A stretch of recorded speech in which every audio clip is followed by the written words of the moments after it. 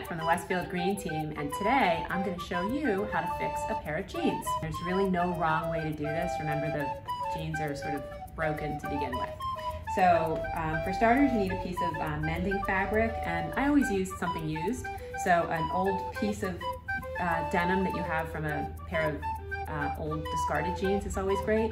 In this case, I'm using some shirting fabric and I'm using actually two layers because when I'm fixing the back, I wanna make sure it's got some strength.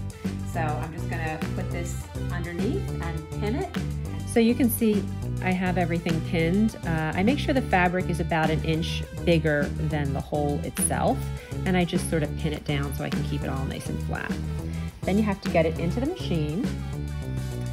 Obviously you need a sewing machine. Um, and you don't need any fancy stitches. So I'm just gonna start um, and go around the exterior of, the, of this section. And I can feel it with my hands where it's double thick.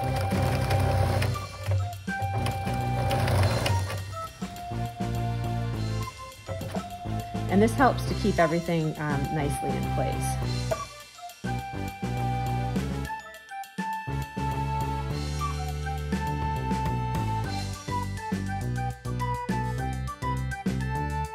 Okay, so this is what it looks like. I've sewed around the perimeter.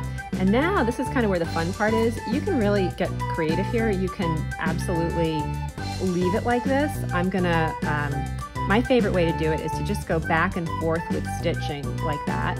Um, but you can also be creative with things like embroidery floss. You can um, hand stitch on top of this. I do think it's important to get a machine stitching down to really keep it um, from, from ripping farther.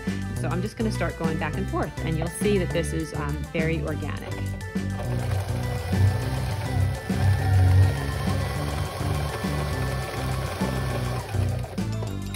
And I just pivot and I'm gonna turn.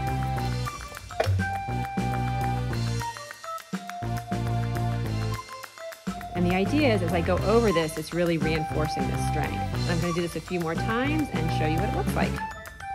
So that's the finished product. I've just gone back and forth a bunch of times. There's no right or wrong answer. For anybody in hunker down mode, it's a great activity. You get your pants fixed and um, you get to be creative. So stay well and um, happy sewing.